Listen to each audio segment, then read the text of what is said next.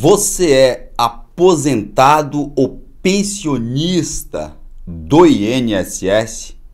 Ou tem como membro da sua família alguém que seja beneficiário do INSS? Prestem atenção na apresentação de hoje que trago informações importantes. Foi aprovado o 14º salário do INSS. Saiu agora, melhor notícia do ano. Reviravolta. Por essa ninguém esperava. O presidente assinou. Temos agora o apoio de um determinado parlamentar.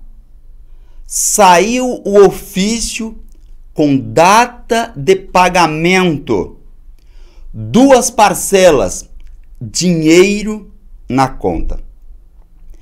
Essas são só algumas chamadas, algumas manchetes em capas de vídeos, como essa daqui, ó. Isso é uma capa de vídeo. Tá vendo? Foi aprovado o 14º salário do INSS. Não vai votar esse ano? Eu diria que 90% é que não vai. No mínimo 90%. Não vai. Eu não criar ilusão na cabeça das pessoas. Ou se quiser, eu vou dizer até 98% que não. É possível isso para este ano? Não é possível. Afirme isso aqui com 99% de segurança. Não existe possibilidade de se é, é, pautar isso ainda e de ser aprovado. Essa é uma luta que a gente vai travar e que a gente espera que consiga vencê-la, em que essas matérias aí, essas chamadas sensacionalistas, ah, muito próximo, na próxima sessão, isso é conversa fiada. Não existe possibilidade que essa matéria seja pautada e aprovada nesse ano. Não. É sempre bom registrarmos sobre o 14º salário que de fato existe um projeto de lei que visa criar um abono extra chamado de 14º salário em favor dos aposentados e pensionistas. Entretanto, esse projeto já perdeu a essência de existir pelos seus próprios argumentos iniciais de que serviria para socorrer os aposentados e pensionistas no ano de 2020 e 2021.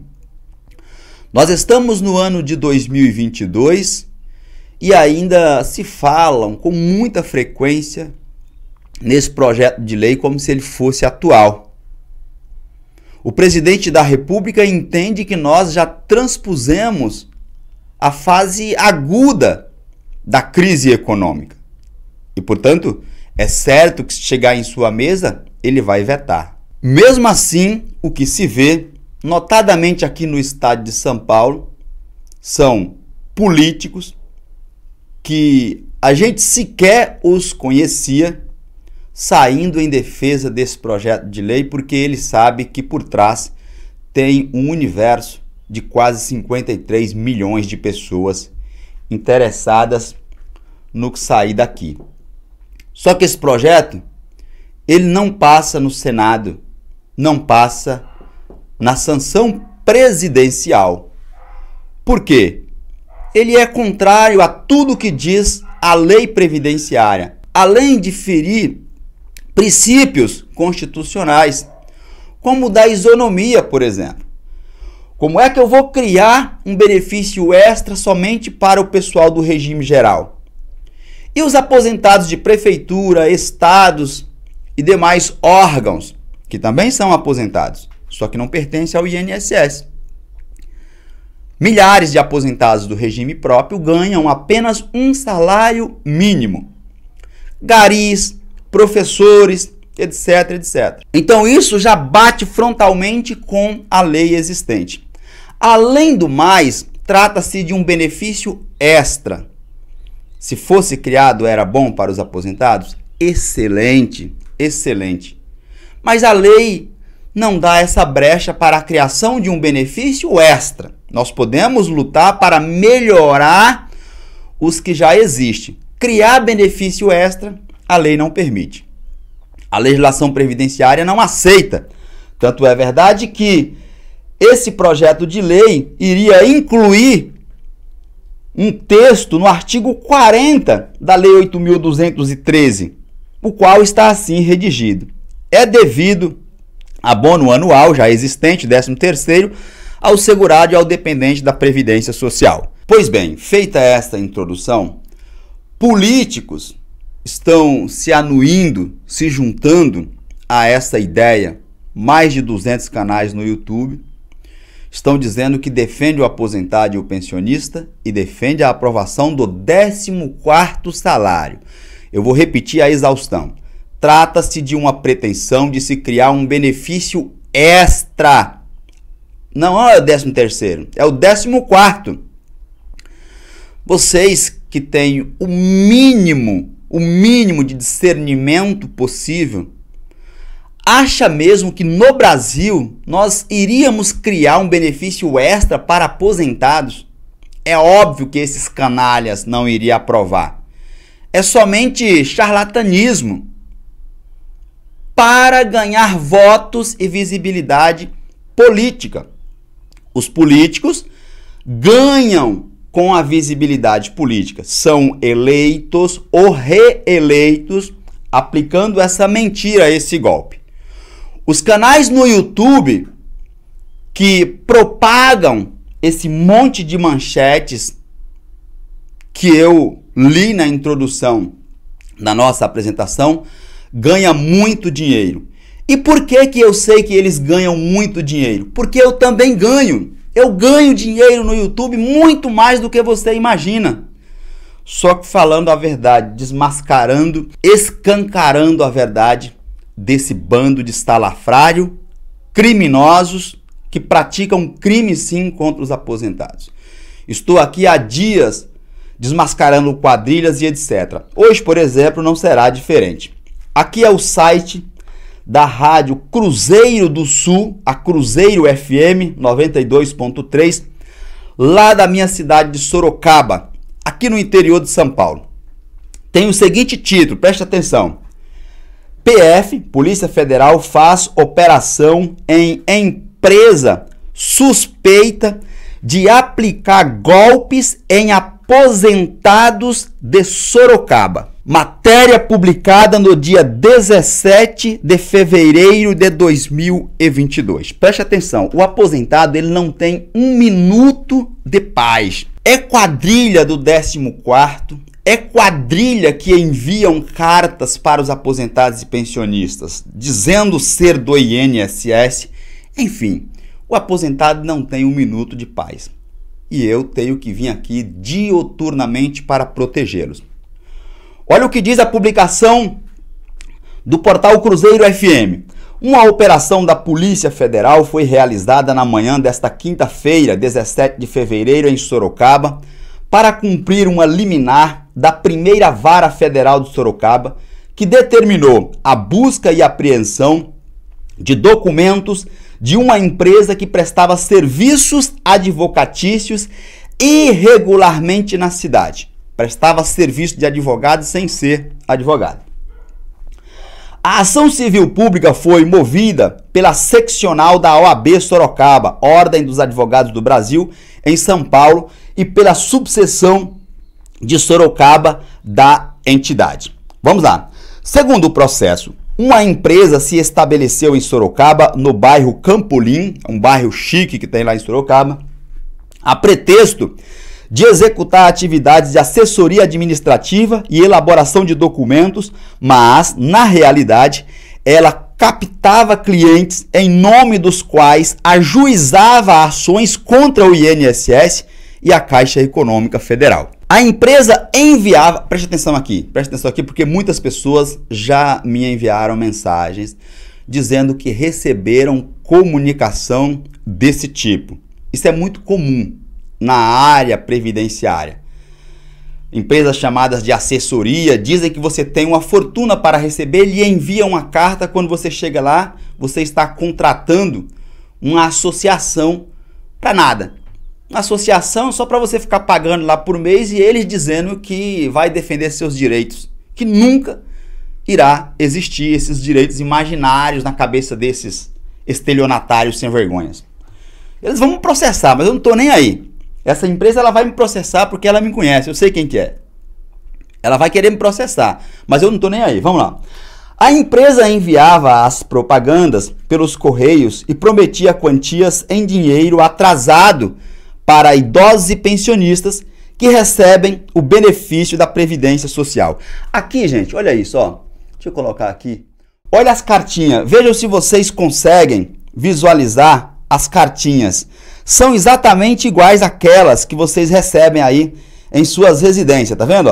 Isso aqui é uma caixa, uma caixa que foi apreendida pela Polícia Federal. São iguaizinha àquelas que vocês recebem aí em seus endereços.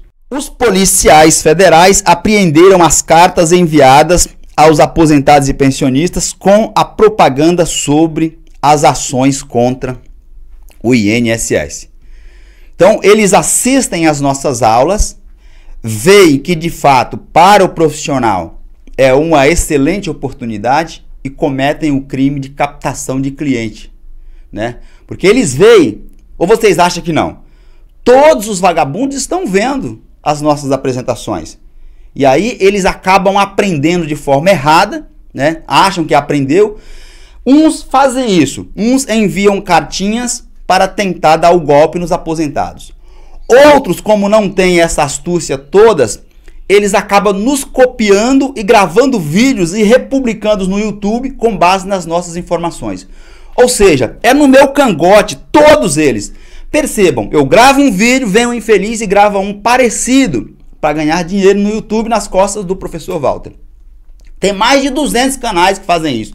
Mulheres dona de casa assistem os meus vídeos o dia inteiro. Agradeço. Mas você está prestando um mau serviço, um péssimo serviço para a sociedade porque você está entendendo tudo errado, tem que aprender melhor. Os policiais federais apreenderam documentos, computadores e uma caixa com as propagandas enviadas pela empresa. Vamos baixar mais aqui. Eles conseguiam todos os dados dos aposentados, eles conseguiam todos os dados dos aposentados e pensionistas que atraíam para o golpe, que atraíam para o golpe, cobravam uma espécie de mensalidade, você fica pagando isso pro resto da vida. Mas não tinha uma atualização sobre o processo exatamente pelo fato dos envolvidos não serem advogados. Aquilo que eu falei. Chega a cartinha na sua casa, você comparece lá na sede do estelionatário. Lá você vai assinar um contrato Aquele contrato é que você não lê, mas é de associação. É associação e você fica pagando. E, e tem gente que ainda liga e chama o infeliz do doutor. E aí, doutor, como que está? Está analisando. Falta o juiz fazendo não sei o quê. Falta, ó, vai ter andamento. Tudo mentira. É estelionatário 171. 171 tem a voz macia. A voz é de veludo. É de veludo. Cuidado, cuidado. Não tinha atualização sobre o processo porque não eram advogados. Com isso, as pessoas pagavam por serviço sem qualquer possibilidade de sucesso. Estou dizendo isso direto. Você paga, paga, paga, paga anos luzes e não vai ter processo. Muitas pessoas, estou na live aqui, a pessoa, meu advogado não passa o número do meu processo. Muitos deles não são advogados e muitos casos não tem sequer o processo. Porque se eu tenho um cliente, o cara me liga, eu vou passar as informações que o cliente quer, ele é meu cliente. Passa número de processo, passa data de julgamento, passa cópia do processo, passa tudo. Quando não é estelionatário.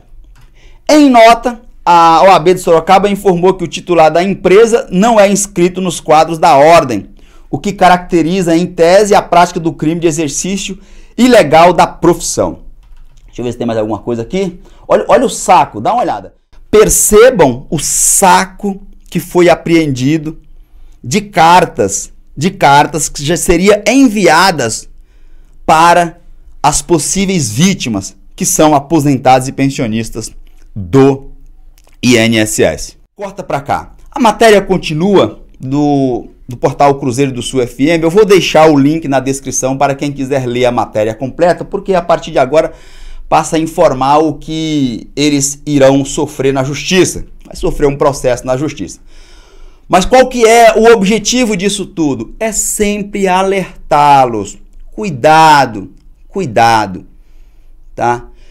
Especialmente no caso do 14º salário, não vai ter aprovação em 2022, não terá. Esses deputados que vocês estão vendo aí estão se aproveitando da situação estão se aproveitando da situação para ganhar visibilidade política e serem reeleitos ou eleitos. No caso dos youtubers, estão ganhando dinheiro nas suas costas. Os youtubers, todos esses duzentos e poucos canais que mentem, nada difere disso aqui, ó. São pessoas iguais, apenas escolheram vias diferentes para te lesar. Cuidado. Inscreva-se neste canal, ative o sininho das notificações a fim de que você seja avisado todas as vezes que eu fizer uma nova publicação com assuntos importantes como esse que eu acabei de te apresentar. Do mesmo modo, deixa o seu like, o seu joinha para o YouTube entender que neste canal tratamos de assuntos importantes para a sociedade. E por fim, Compartilhe este vídeo em suas redes sociais e grupos de WhatsApp, a fim de que consigamos informar e, por consequência, ajudarmos ao maior número de pessoas possíveis. Um forte abraço e eu te vejo na minha próxima apresentação.